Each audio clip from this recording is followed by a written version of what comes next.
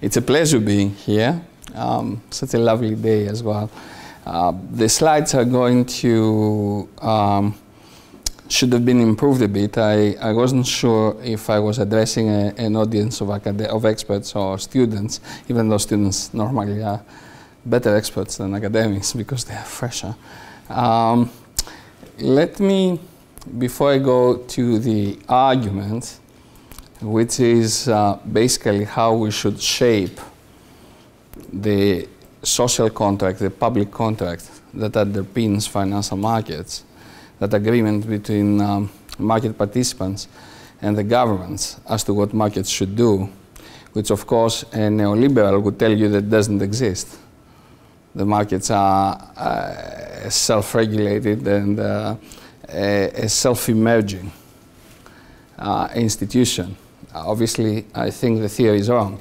But let's take things from the beginning, something that is obviously not evident in my slides that uh, start with the conclusion, as you do in an academic conference, and then you explain the methodology.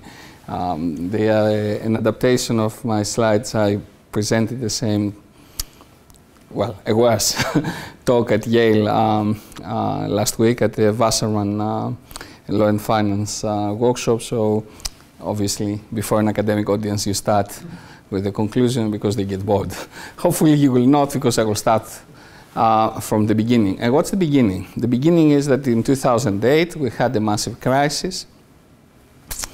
The global financial uh, system nearly collapsed, or if you will, to be more accurate, the Western financial system uh, nearly collapsed. And what we had after that was a wave of regulations.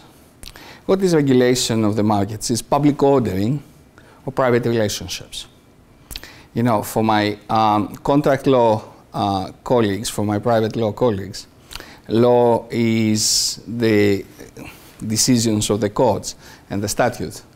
For me, law is an economic institution. Every contract is an economic institution to be deconstructed and analyzed accordingly.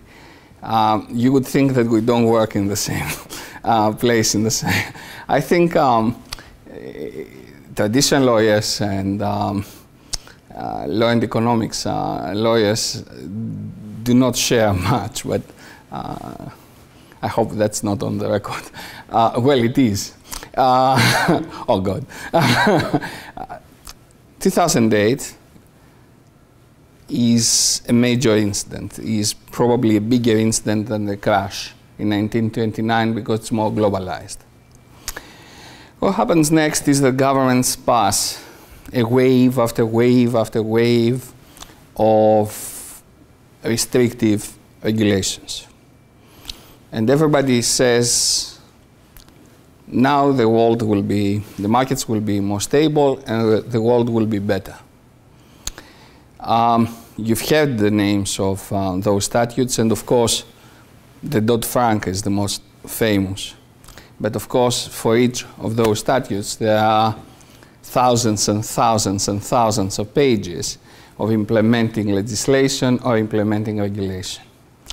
And these regulations, uh, which admittedly have enhanced the short-term stability of the markets and the short-term stability of financial institutions, um, are extremely complex.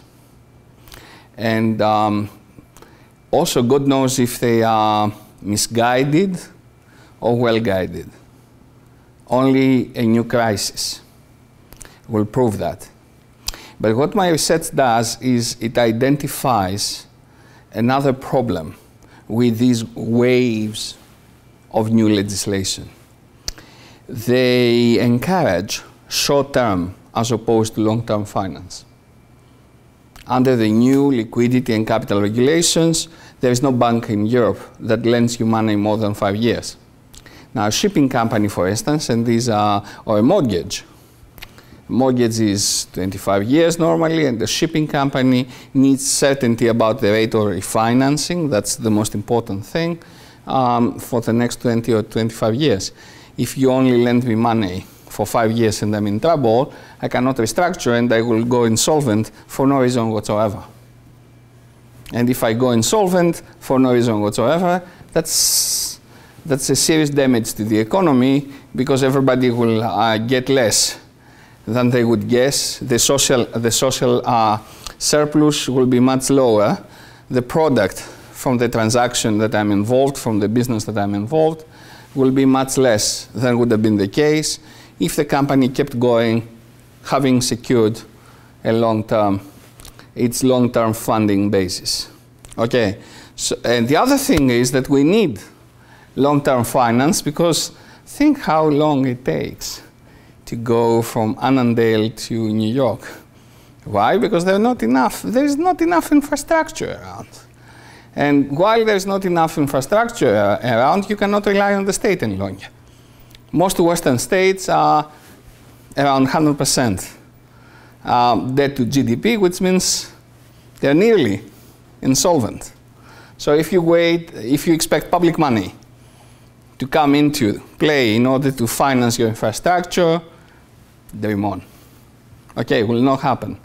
But on, uh, at the same time, we don't face a liquidity crisis. On the contrary, there's a surplus of funds moving around, and um, they run in the trillions. And what do they do? They chase minuscule returns on short-term financial instruments, which are the core of what we call shadow banking. Okay, lots of money instead of going to the real economy goes to shadow banking um, operations, chasing returns of 0.01%. Or they stay with the central bank because there is also at the same time a crisis of um, confidence. So um, if you open the New York Times, you will see that um, Krugman talks about the liquidity trap all the time.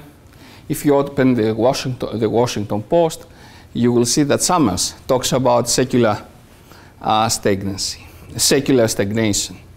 Both mean that it's not worth people's while to invest long term. Now that's paradoxical because interest rates are nearly negative. If you open any economics textbook, it will tell you that investment depends on the cost of capital. Here, the cost of capital is sometimes below zero. Okay?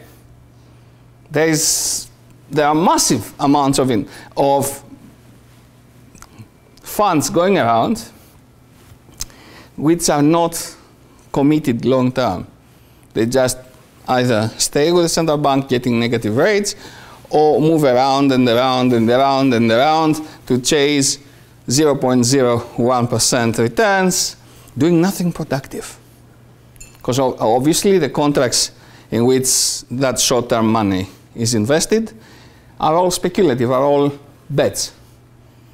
Instead of betting on a horse race, you bet on a derivative.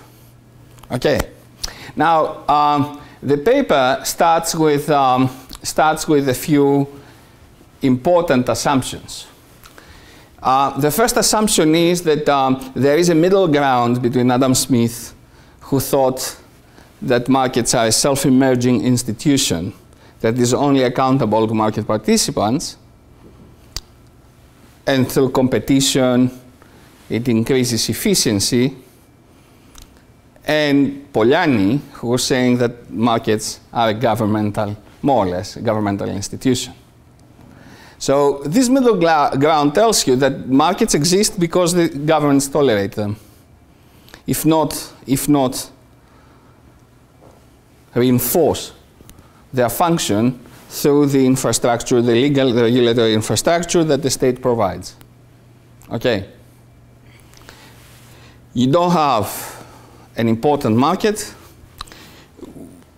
these days, post 2008, without that regulatory infrastructure augmenting and supporting their function. And the question is what should be the targeting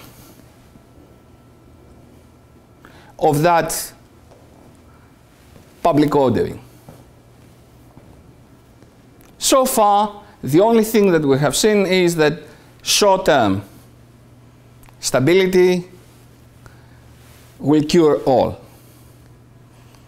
And the uh, paper says short-term stability will not cure all because A, financial stability in general may be an illusion, and here Minsky comes into play if you have read the financial instability hypothesis and his other writings, most of them produced here at the Levy Institute or reworked. Markets are in a, and economies where finance is important are in a state of constant flux. They're never really stale and stable. That's an illusion. The second thing is, even if they are relatively stable, do they maximize allocations? The, the, the fundamental assumption of the social contract that underpins financial markets is that they boost growth. We have financial markets because finance is essential to fund projects in the real economy. If most of the money is uh, moving around in self-referential contracts and is not, the money is not channeled to the real economy, what you have is, in economic terms, wastage, even if the market is relatively stable. Of course, a market with lots of short-term flows cannot be stable forever because short-term flows boost volatility. And volatility is a major enemy of confidence. And if I don't have confidence in the markets and the return that I will get from the market, I will not invest. So essentially, what we are doing today, stabilizing the system in the short term, does nothing and tells us nothing about long-term allocations. If you want to maximize long-term allocations, you should go further beyond the objective. You should go beyond the objective of short-term stability because nobody knows what long-term financial stability looks like and generate, fashion, devise incentives that maximize commitment finance. What we call long-term finance means commitment finance, that you stay there, put on the contract for much longer than a second. Probably five years should be the benchmark. Now, obviously, long-term finance has serious issues. In principle, it's, a, a, it's illiquid. Secondly, it's very hard to calculate the return. How much is going to be your profit? I have some answers, but let's, um, let's now take things from where we stand today. We have a very extensive financial stability. We have very extensive, very complex, very detailed, very comprehensive consumer protection, financial stability regulation. To do what? To protect investors and, and uh, protect the short-term stability of the financial system. None of those, none of those devices maximize lo uh, long-term allocations because they are not supposed to. It's thought that um, it's thought that um, stable markets will maximize long-term allocations on their own, and I say that's wrong. That's wrong because financial stability is an illusion, Minsky, and that's wrong because what they do, as a matter of fact, is they take advantage of QE, of negative rates, what we call extraordinary monetary policies, all this excess supply, to build up leverage and take short-term bets in the market. Instead of, uh, if you think about derivatives contracts on, uh, let's say, the exchange rate between the pound and the dollar. Okay, it's not different than betting on uh, go-go champion in the Kentucky horse race. Okay. Or taking a bet on the Red Sox winning the series this year as well. Basically, that's what it is. Social value zero.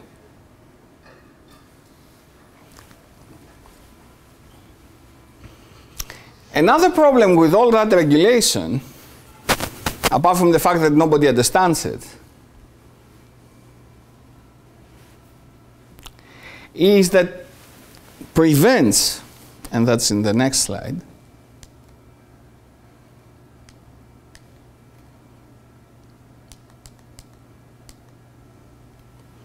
is that it prevents the suppliers of long-term finance contracts to reach the natural buyers, pension funds, and the investment public. So they restrict demand, they restrict demand because suitability, client suitability, are you suitable for the investment? Because suitability and um, financial advice restrictions prevent a major infrastructure provider to go to the public and sell 40 year long bonds. That's regarded as a complex contract, and current legislation does not allow you to buy that. Okay, obviously there are good reasons for that, but thinking that a four term, a four year, a 40 year term project infrastructure, project bonds is like the Lehman mini bonds. Or the uh, collateralized debt obligations that destroyed the world, I think that's flawed thinking.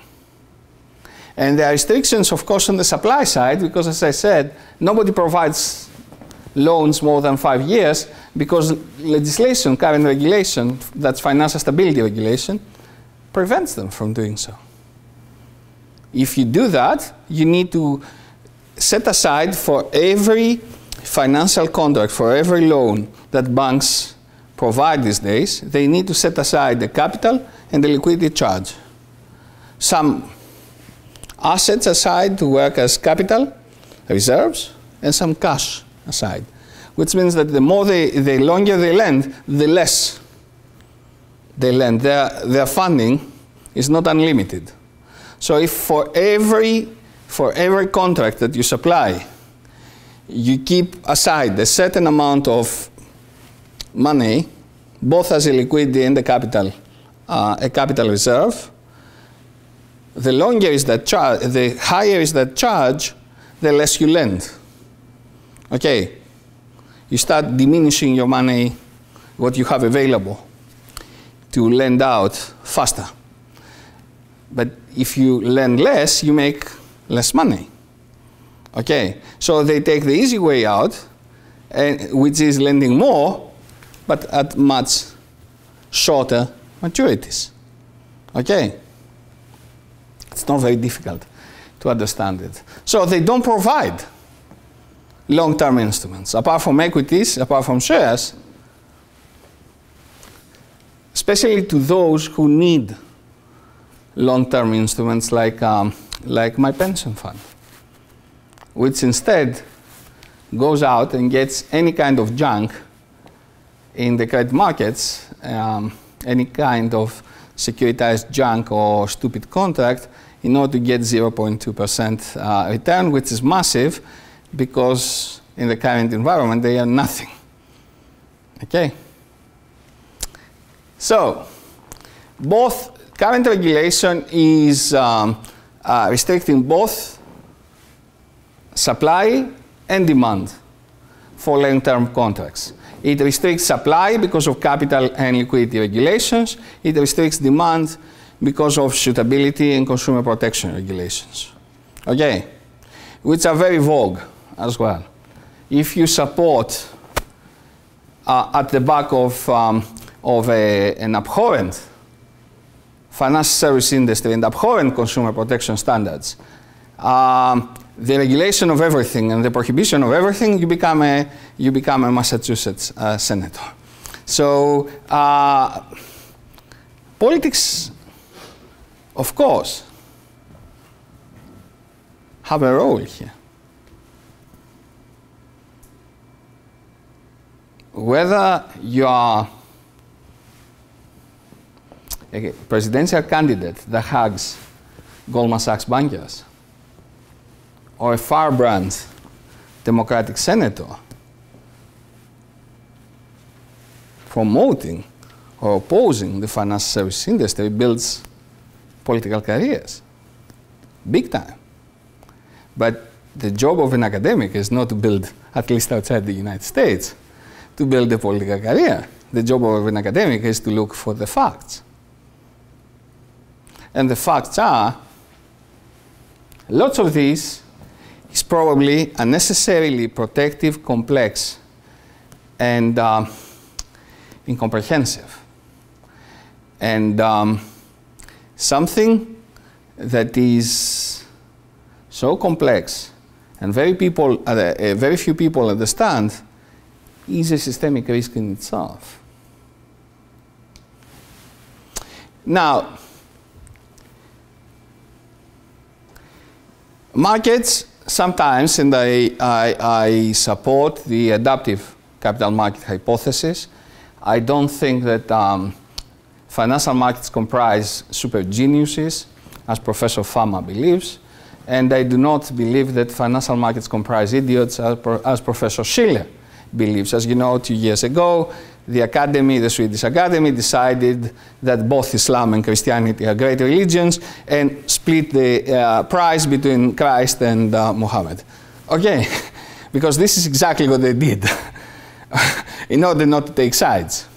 So um, I don't believe that either of them is wrong, totally wrong, or either of them is totally right. There is another, uh, another theory by Professor Andrew Lo of MIT that says that markets, uh, even if they start from a, a initial position of uh, uh, a collection of idiots or imbeciles, they learn.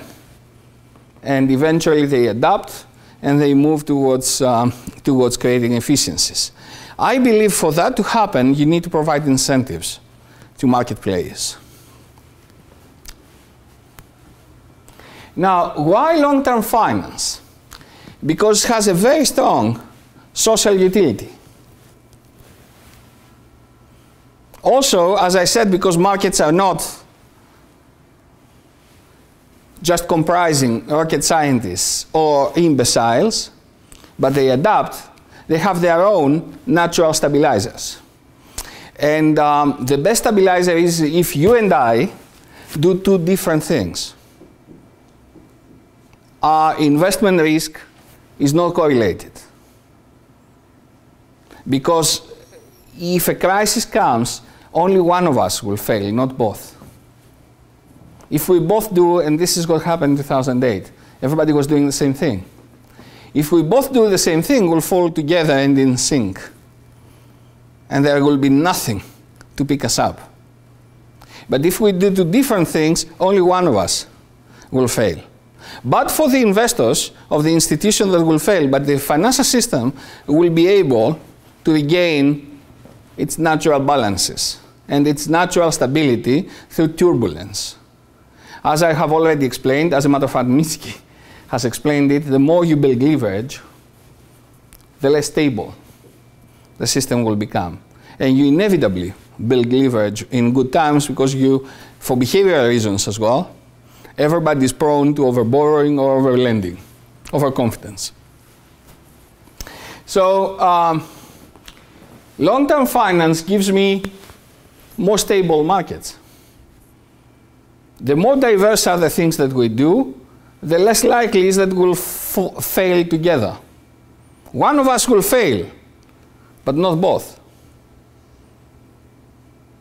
As I've already said, but for the investors of the failing institution, but the market overall will not collapse.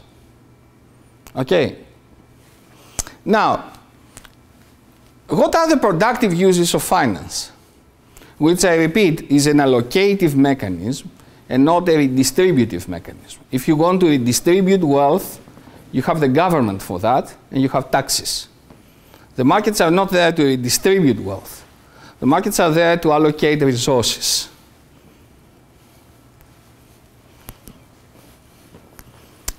What can long-term finance do? First of all, investment in infrastructure. open any paper today, why would you not invest in infrastructure? Really, why? We're 130%. We're really 130% debt to GDP ratio for half of the developed uh, nations. Why we're not investing in infrastructure? Why? because we don't want taxes to move to 80%. Whoever does that will not be re-elected, correct? So there must be another way.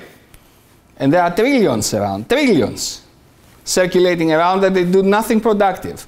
So how can we make them do what? Investment in infrastructure, research and development, productivity, new jobs. All the things that in a capitalist society rebalance inequality. What it does not balance inequality is lots of short-term liquidity. Because if I have 100 houses and you have one, I can take 100 different bets in the markets. I can collateralize that asset, let's assume it's a house, and take 100 bets. Okay? And obviously the bet will be 90% higher than the value of the collateral. Okay? The collateral is just my margin. So I never lose. If your bet goes wrong, you have lost your house. Okay. So the more I win, the richer I become. Correct? Now, why you don't feel poorer? You don't feel poorer because all that surplus that they have in funds, because they become richer and richer and richer by working out, out capital. Instead of making capital investments, long-term investments, I'm just betting capital short-term on the basis of my existing asset base. And they become wealthier and wealthier and wealthier. And what do I do with that liquidity? I put it in the bank that gives you subprime mortgages. So when, while this is happening, you don't feel poor. But when the crisis, the crunch comes, you're destroyed. Okay? So not only my wealth is multiplying, whereas yours is undermined, when crisis happens, yours disappears.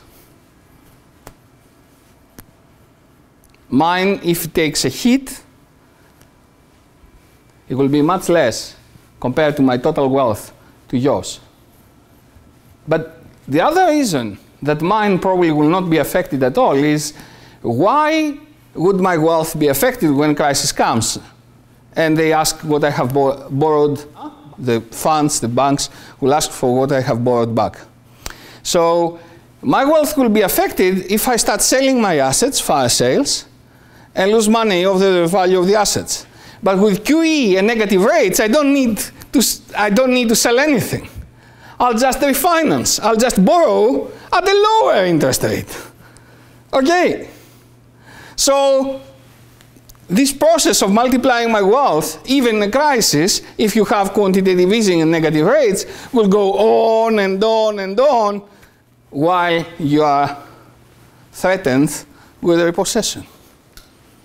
This is why short-termism and these expansionary monetary policies, which clearly have not worked in boosting long-term capital investment, have increased inequality. Not to mention the long-term financial stability impact that probably destabilize markets.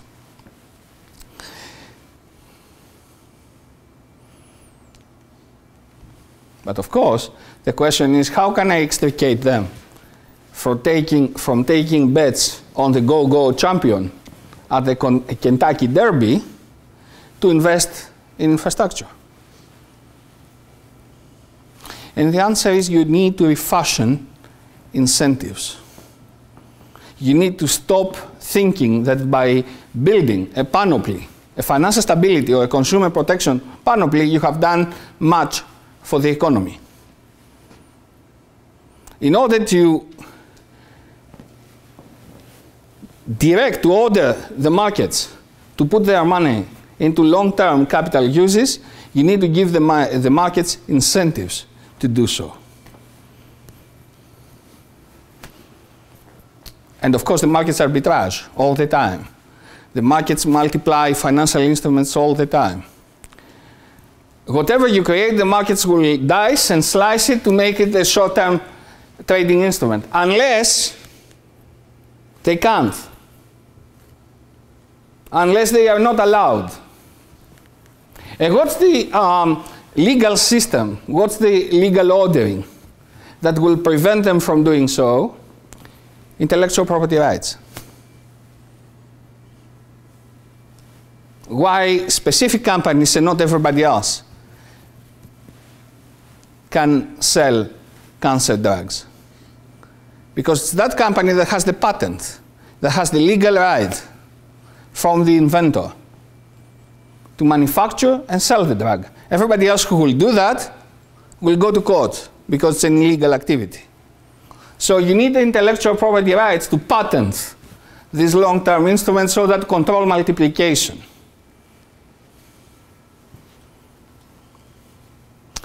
And I have explained that um,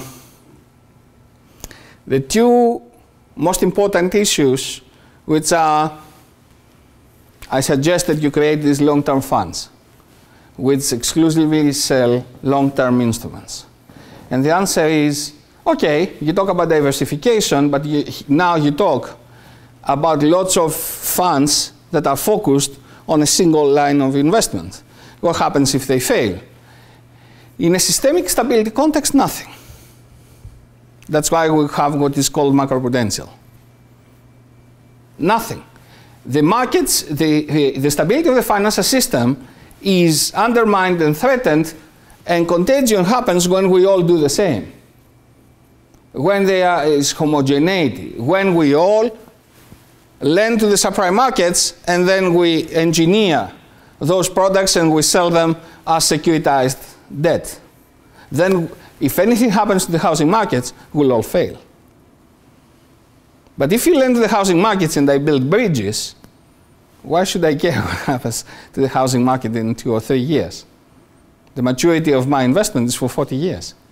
There is an issue there. Who's going to buy them because they will not be able to resell? But I will explain how this is going to be resolved by the market. And obviously, housing is very is long term, but it's very dodgy. If you want to create, as I suggest, special asset classes that I will enjoy tax and regulatory privileges, and special investment institutions that they will enjoy tax and regulatory privileges, you need to forget about housing, unless it's social housing. Okay, because housing has proved to be in the Western world outside continental Europe a very risky proposition, a very risky investment.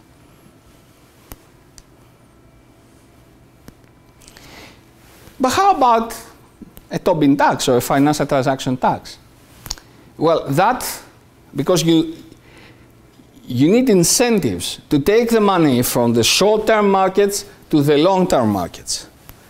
That as far as I understand it, is meant to dampen speculation, to slow down the uh, speed of trading, or to generate money that can be used into a fund to boost the stability of the financial system, the solvency of financial institutions. How this would take money from the short-term markets to the long-term markets, I understand not.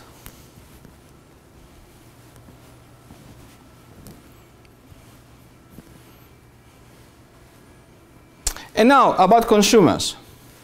Let's think about my pension fund, about retail investors. My pension fund is overinvested in UK equities, faces a massive deficit, more than 10 billion as a matter of fact. But uh, it's overinvested in UK equities that today are doing extremely well because there's so much liquidity that's going to the uh, stock markets. Okay, so lots of buyers, lots of money, valuations go to the gods, pricing goes to the gods. If the stock market, when the, all that liquidity injection from the central bank stops and the market goes the other way, think what's going to happen to the deficit. Now, if my, if my pension fund held instead a 40-year project bond that would give it two and a half per year or four and a half per year, it would know what are the returns on that investment for 40 years. I repeat, there are two issues. What happens in default and the liquidity issue. If you want to resell, who's going to buy it? I will return to that because it's not difficult at all.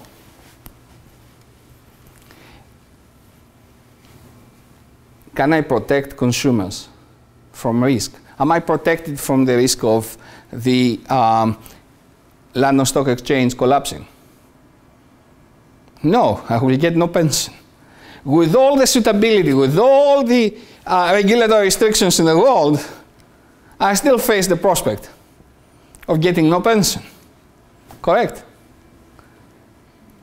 Why is it different with the 40 year project bond? And also, let's remember our financial economics, our finance. Finance is not a useless subject. If there is a risk of default, that should be in the price. That should be in the price. The risk of default is priced at the interest rate premium. If that's a risky borrower, I ask for a higher interest rate. Okay. We cannot forget financial economics. We cannot forget our finance. So the risk of default should be reflected on the interest rate. And if it's not, you can sue them under general fraud and civil liability statutes.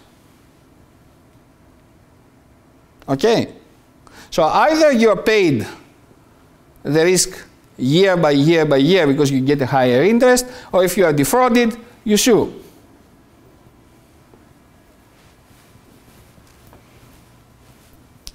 And how about liquidity?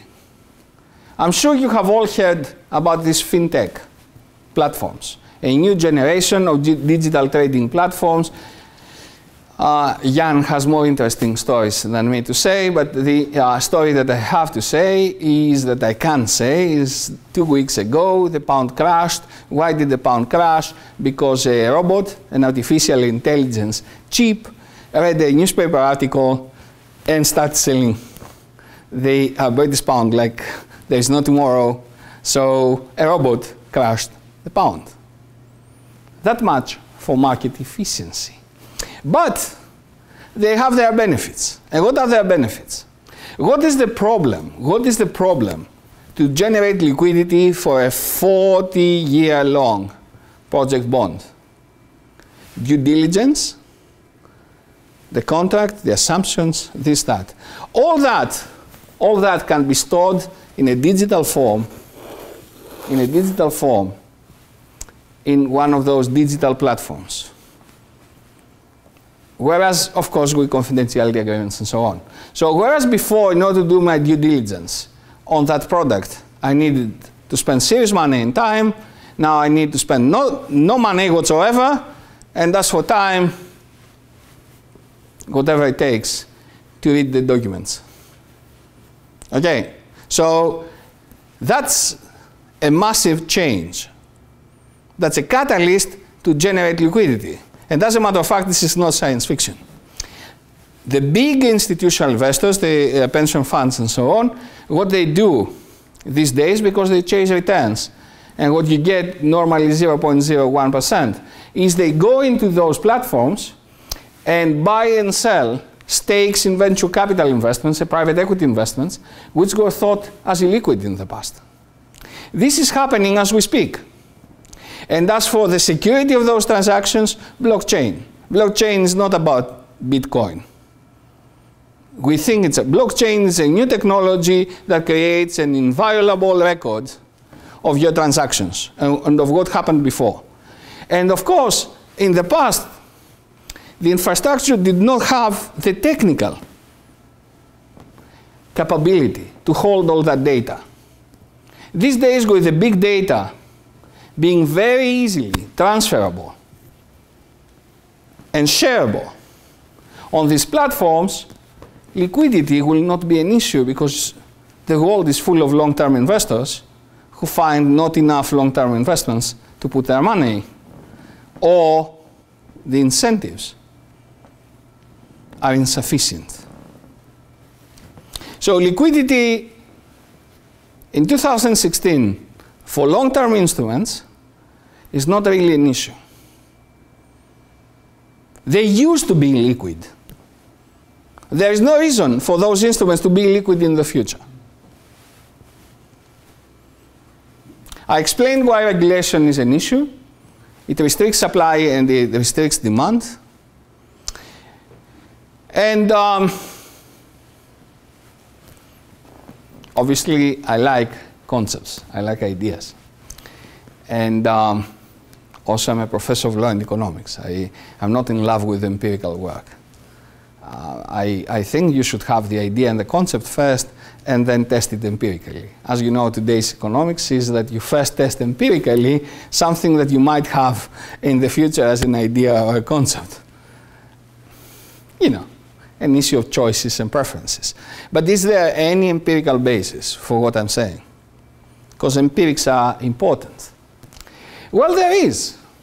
Capital investment in the United States in 2015 fell. Capital investment is long-term investment by corporations. Real investment, real economy investment. Fell. And this couldn't happen according to Summers and DeLong because the cost of capital is zero or very close to zero. And any economics textbook will tell you that the rate of capital investment depends on the cost of capital. See, the cost of capital is nothing. But capital investment is not rising and Spence and Walsh have provided convincing research that says that the money, as a matter of fact, has gone to short-term investments like share buybacks. They use the cash or they burn the cash in order to build share prices. Okay. Now, if I have lots of cash available and I just return it to you for investment that probably is worth less, that's social wastage. That's not efficiency. Overpaying for anything because I have lots of cash to burn is social wastage. It's not efficiency. Okay. So, um, and let me show you what they mean.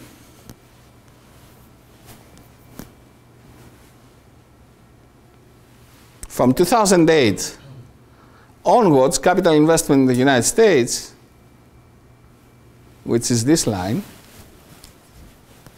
has been much lower than in other recessions that there was no QE. 1990.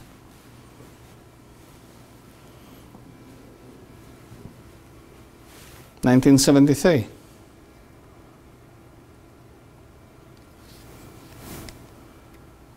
So, Spence and Walsh prove that in conditions of extraordinary monetary policies, in an environment where the cost of capital is zero, capital investment is not rising, and on the other hand, DeLong and Summers say that could not be happening but it's happening. So what's the explanation? I think the explanation is that the regulatory environment is discouraging long-term investment.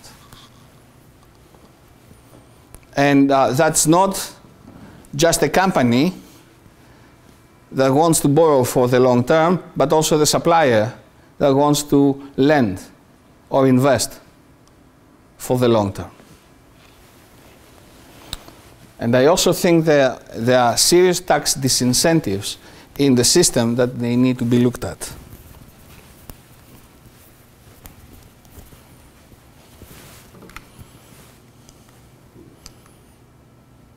Now, why do we need a boost to long-term investment?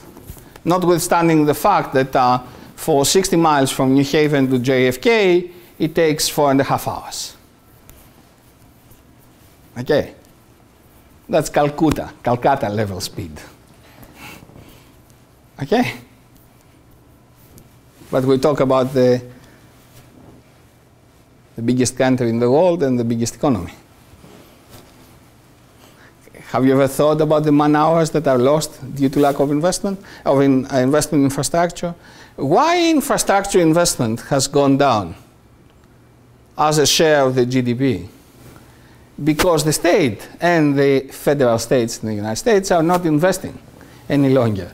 Why they are not investing? Because they have accumulated massive piles of debt, which is not easily liquidated, especially in an environment of very low inflation. Okay? Unless they make lots of people homeless and they create serious amounts of social unrest. And if you do that, what's the value of building more public infrastructure? Okay. But as I said, there's plenty of private funding. There's plenty of private capital that stays stale. The same is the, the um, situation in Europe. This is from the European Investment Bank, even though the slide is a bit misplaced. As you can see, the gap, what is required for the European economy to stay at the same level of competitiveness as currently is with Japan, the United States, and so on, and what is the funding inflow to the European economy in terms of long-term investment. And what is long-term investment? Research and development, key strategic sectors, transport, equipment, machinery, life sciences, renewable energy, eco-innovation. Okay, it's well defined. Gap required from the private sector 200 billion, current investment 130. Required from the, that's the private sector.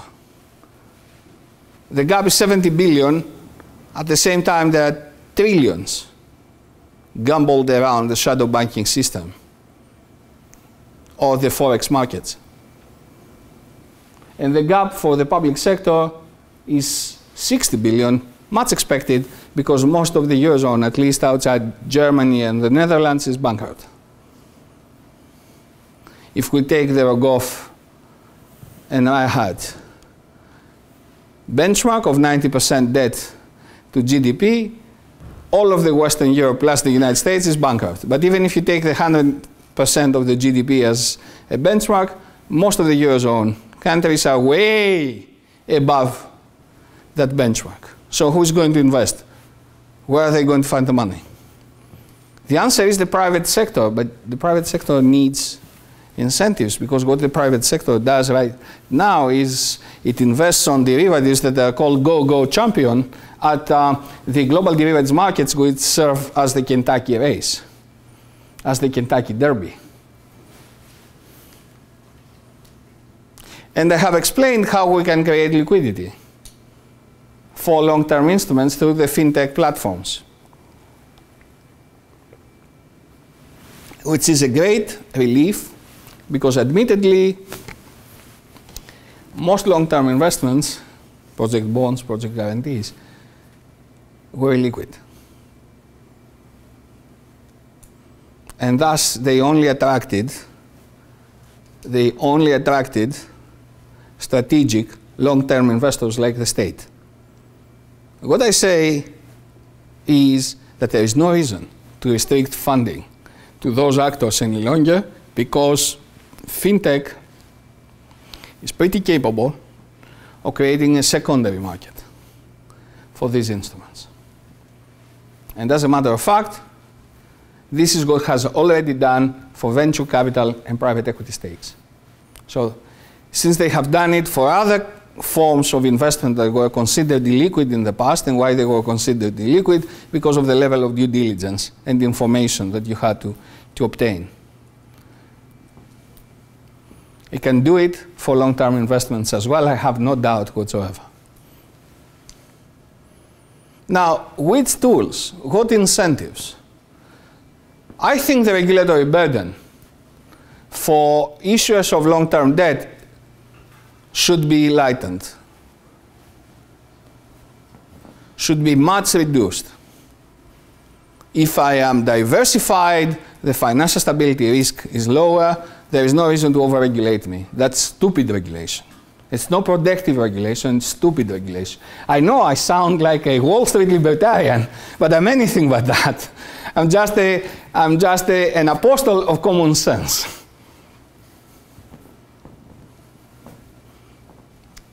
If you don't want to trust the existing financial institutions, create new classes, new forms of financial institutions that do long-term investment and new asset classes. Require the issuers to comply with prescribed standards, you standardize the product, and you give the issuers intellectual property rights to control the multiplication of derivative investments on the bonds or whatever other instrument they are issuing, otherwise you will lose the ball.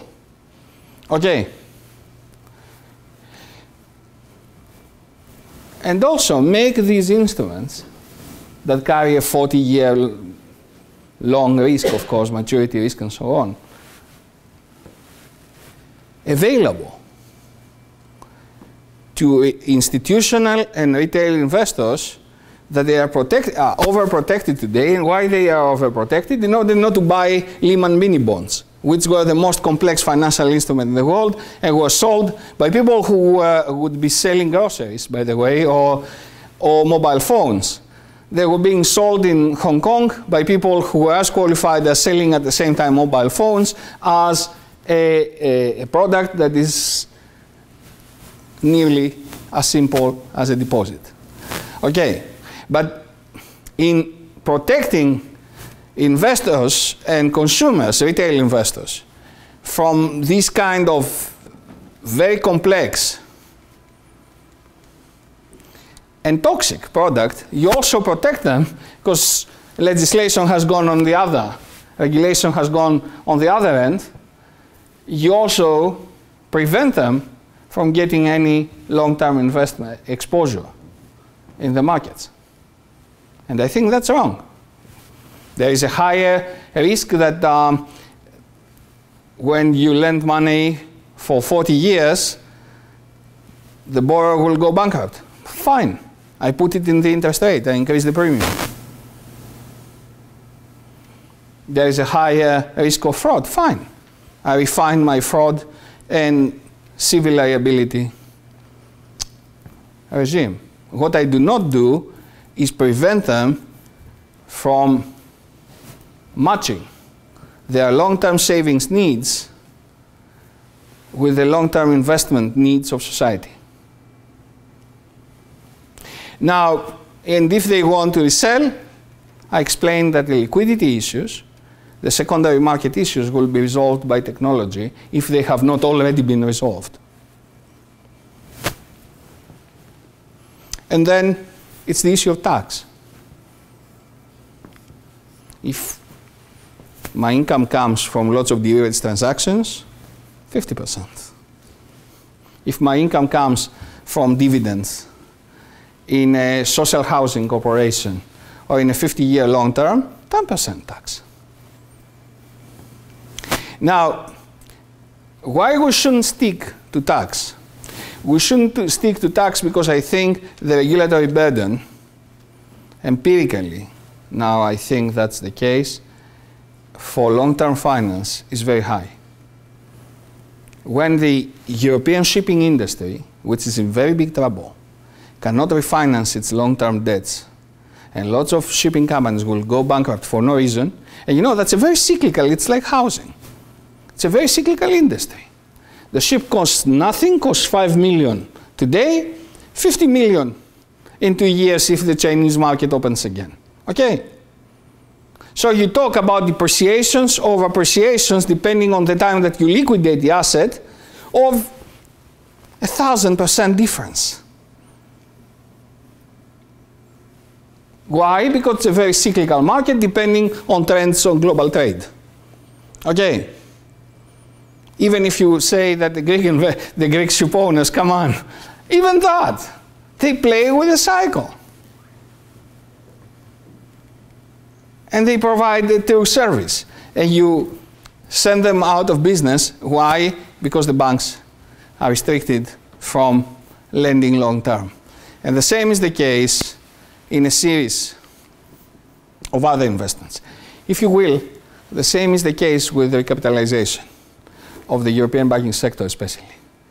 If from that pool of investors that have money, nobody is allowed to buy a 40 year bond, charging the corresponding interest per year of a European bank that is verging on collapse these days, betting on the macroeconomic cycle and the value of the asset becoming from 5 million to 50 million. Okay. The European banks will never be recapitalized, recapitalized unless that is done by the state, but that's prohibited. The state is prohibited in Europe from bailing out banks any longer. So by restricting long-term investment, you restrict long-term investment opportunity, which could resolve a number of current and future problems. And the other reason that regulation should be involved is because regulation is easier when it comes to finding a global consensus than tax. All the regulations passed post 2008 the European capital regulations, the Dodd-Frank and so on, they are not the same, but they look alike. And they look alike because there is a group of 20, that's the 20 biggest economies in the world. The G20 is the group of 20, China included. Input. The leaders or the finance ministers of the wealthiest 20 countries in the world agree in the general principles and the fundamentals, and the detail follows, and of course the detail differs from jurisdiction to jurisdiction because they also compete with each other. But the fundamental principles are the, the same. So regulation, if you will, it's an advantageous field to find a global consensus, which I very much doubt you can find with tax. And there are other advantages as well. I believe that the only way to make um, long-term investment attractive, apart from the issue of liquidity, is to make it cheaper. Lower, and by making it cheaper, what do I mean? Lower the tax burden and lower the regulatory burden. You also provide a moral signal, a nudge. It's like telling people, do you know what? Short-term bets not good. In the same way that you regulate gambling or alcohol consumption or drug consumption. Not good.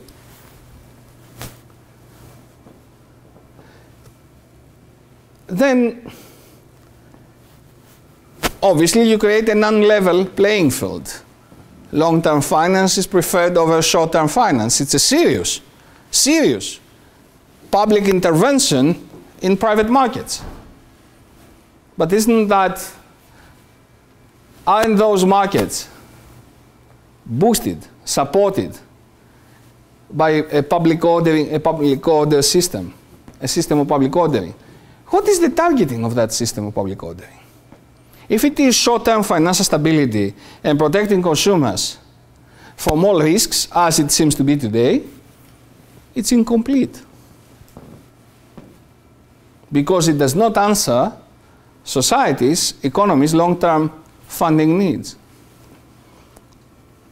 So I think there is a very strong economic, not moral, economic justification for an unlevel playing field, for preferring long-term from building a public ordering system for financial markets that prefers long-term over short-term finance instead of being neutral, as it is today, and expecting the market to sort out the mess. Empirical research says, and empirical evidence says, that the market is unable to sort out this mess because of the availability of leverage. The more leverage, the more the temptation to speculate short term.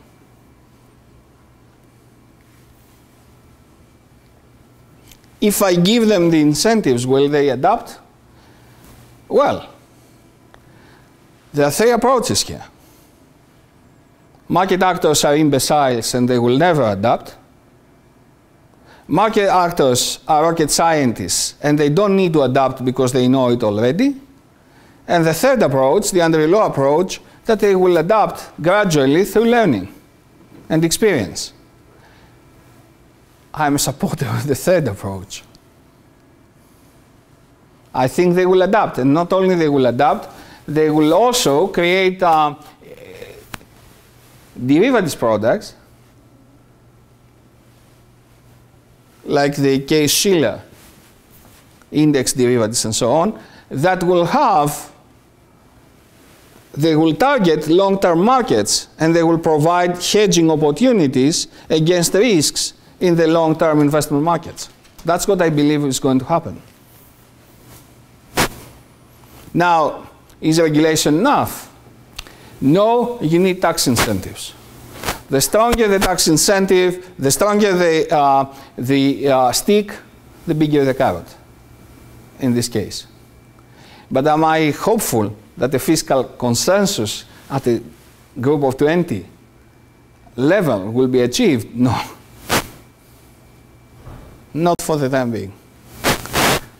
And in actual terms, in terms of market function, of market operations, are there benefits? Yes, because the markets will be better, better diversified. The market will, you will have fewer panics. You will have less contagion and systemic risk. You will have less volatility.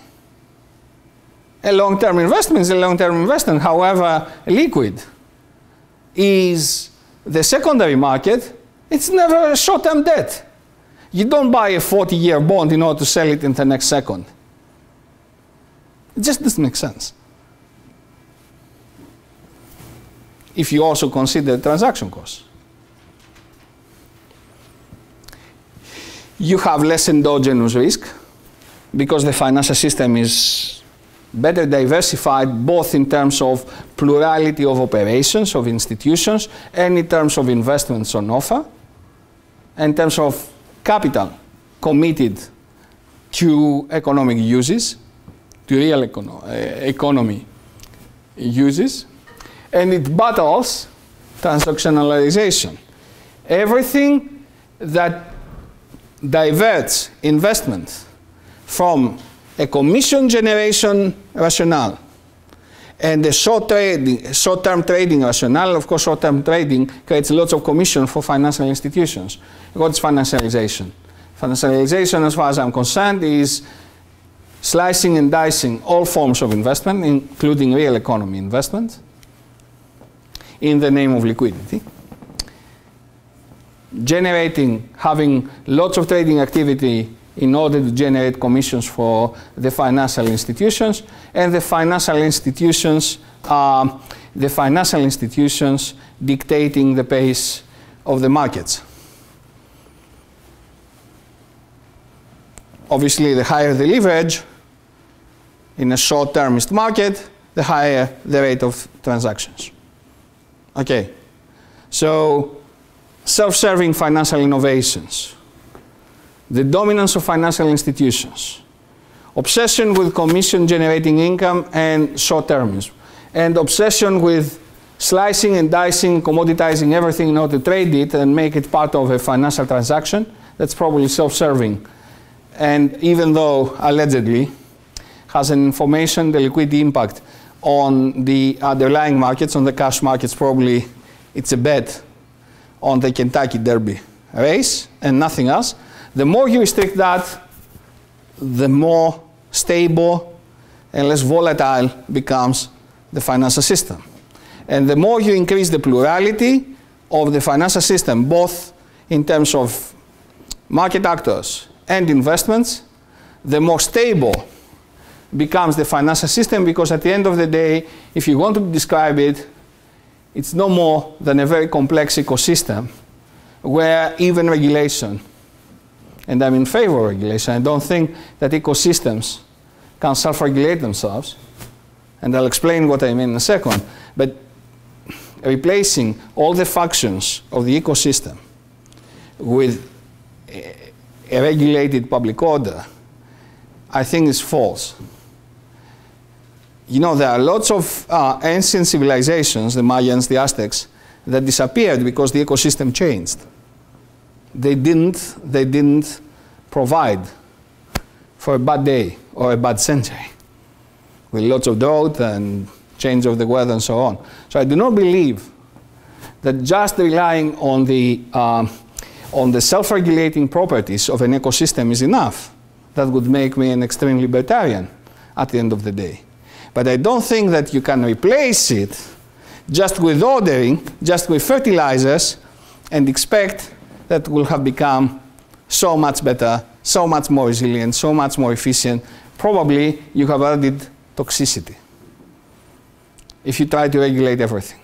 Now, if you just increase the flow of water to, this, um, to the ecosystem, probably you've done a, a, good job. So I think that regulation should uh, start thinking about the big picture